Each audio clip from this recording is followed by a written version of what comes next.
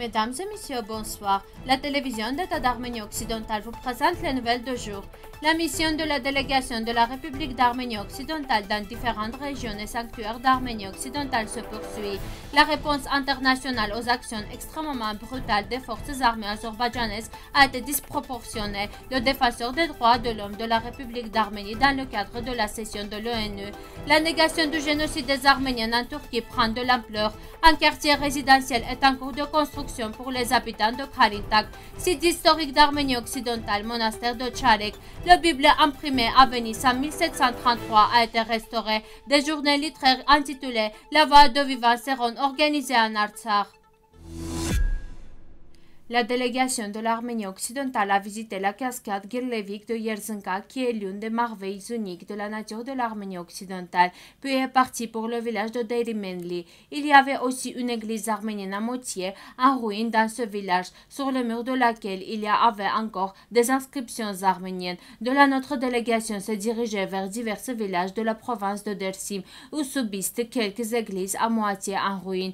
Malheureusement, feu de temps, il n'a pas été possible de tous les sanctuaires arméniens, ce qui a également été confirmé par les habitants. La politique turque de massacre avait laissé sa marque ici aussi. Il existe encore des églises arméniennes dans différentes parties de la province de Dersim qui portent le nom de la Vierge Marie. Il convient de mentionner que toutes ces églises ont été construites sur la liste des temples d'Anahid. À l'heure actuelle, nous connaissons 18 églises de ce type. Il y avait de nombreuses églises sur la base desquelles des mosquées ont été construites. Lors de notre mission au Dersim, nos députés se sont arrêtés sur une falaise que les locaux appellent l'abîme du carnage. En 1915, un grand nombre d'Arméniens ont été jetés du haut du rocher de son nom. Il convient de noter qu'il y a des années, une cérémonie de commémoration des victimes du génocide a eu lieu à cet endroit, à laquelle a également assisté le député de la République d'Arménie occidentale Mihran Perkic. La prochaine mission était l'ancienne province arménienne de Hozad Adersim, où le plus remarquable était un centre de la mémoire en plein air.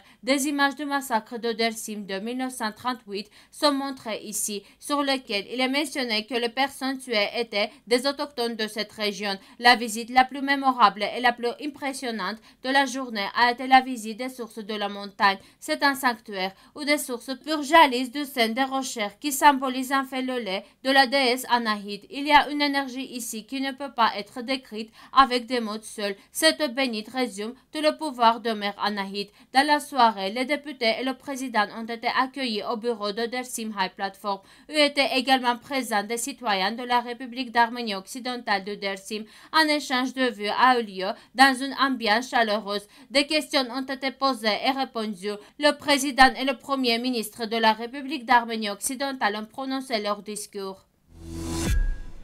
La République d'Arménie occidentale mène en permanence un travail de suivi sur le crime de guerre commis pendant et après la guerre d'Artsakh de 44 jours en 2020, dont divers autres responsables de la République d'Arménie occidentale parlent sur un certain nombre de plateformes internationales. La défenseuse des droits de l'homme de la République d'Arménie, Christine Grigorian, a également évoqué cette dernière, abordant la discussion avec le rapporteur spécial des Nations Unies sur les exécutions extrajudiciaires ou arbitraires dans le cadre de la 50e session du Conseil des droits de l'homme des Nations Unies. Dans ce message, le défenseur a salué tout travail accompli par le rapporteur spécial, soulignant la nécessité de renforcer le mandat du rapporteur et de lui allouer davantage de moyens. Le défenseur des droits de l'homme de la République d'Arménie a évoqué la réponse internationale aux opérations militaires en Artsakh en 2022 qui, selon lui, était disproportionnée et insuffisante, créant ainsi des conditions préalables à des exécutions extrajudiciaires et arbitraire dans d'autres conflits actuels.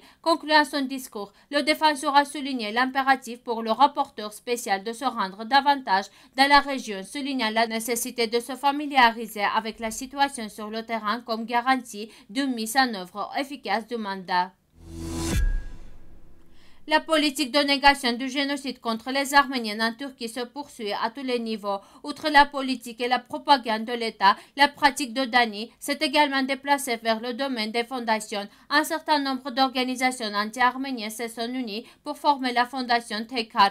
Son objectif principal est de déclarer la lutte contre les allégations de génocide contre les Arméniens. La première assemblée générale de cette fondation nouvellement enregistrée aura lieu le 25 juin et ainsi la procédure légale pour la formation de Tekel prendra fin. La Fondation a également élaboré un plan de travail indiquant qu'elle veut assurer la séquence chronologique correcte, présentant les événements de 1914 à 1924 avec des approches saines. Naturellement, leur approche saine signifie justifier à tout prix la politique génocidaire de l'État ottoman. L'Arménie occidentale reste attachée à ses valeurs et à sa vocation et continuera à lutter à la fois pour la reconnaissance et la réparation du génocide ainsi que contre le déni. Ce n'est pas la seule manifestation de déni de la Turquie, mais quand il voit des mesures actives de la part de la République d'Arménie occidentale, cette façon de travailler turque commence à fonctionner plus activement.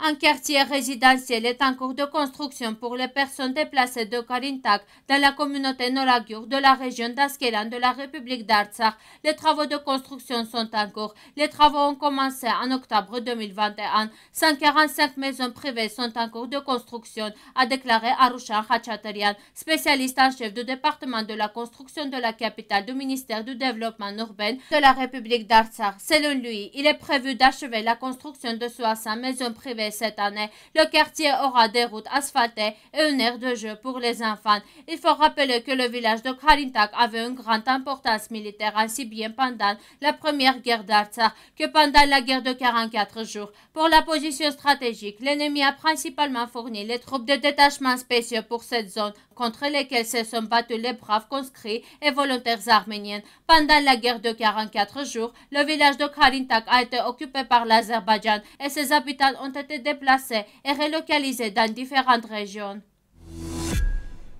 À 7 km au sud-est du centre régional de Getabek, sur la rive gauche de la rivière Chamkor, se trouve l'un des complexes monastiques les plus célèbres du nord de l'Artsakh, le monastère de Tchelek, formé au XVIIe siècle, composé d'une église, d'un vestibule colonnade, d'un clocher et deux étages, d'une chapelle et de structures auxiliaires. Des traces de destruction séparées ont été enregistrées dès les années 1980. En particulier, au milieu de ces années, il y a des dommages à l'inscription et au Khachkar. Il existe de nombreux cas en Arménie occidentale où les valeurs culturelles arméniennes sont endommagées ou modifiées par les Turcs ou d'autres autochtones dans les régions d'origine arménienne.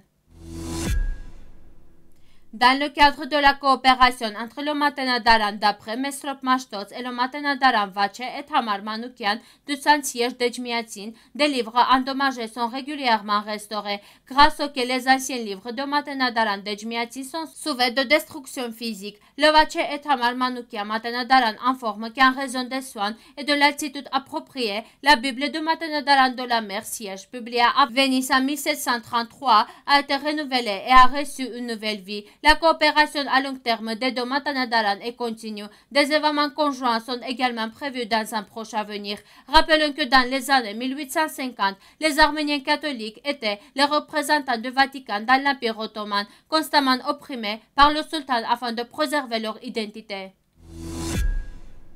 Du 26 juin au 2 juillet, des journées littéraires intitulées Les voix de vivants seront organisées à Stepanakert et dans la région de la capitale de l'Artsakh, dans le cadre desquelles se tiendront également des manifestations culturelles. Des écrivaines et des critiques littéraires de mer Arménie visiteront l'Artsakh pour échanger des idées et des expériences. Dans le cadre de l'initiative, des concours littéraires, des soirées littéraires, des concours de récitation, des expositions et des concerts, des conférences, des rencontres, des conférences sur la littérature moderne de l'Artsakh seront organisées. L'ouverture solennelle de l'événement aura lieu le 27 juin, a déclaré Avakian, chef du bureau Artsakh de l'Union nationale arménienne pour l'éducation et la culture. Il existe probablement de nombreux événements culturels et sportifs en Artsakh, parmi lesquels on peut citer les matchs de football de Konifa, auxquels l'Arménie occidentale a également participé avec grand honneur. Merci de votre fidélité. À la fin de notre émission, vous pourrez profiter d'une performance musique folklorique des Arméniennes. Vous pouvez écouter la version complète de la musique sur notre site web.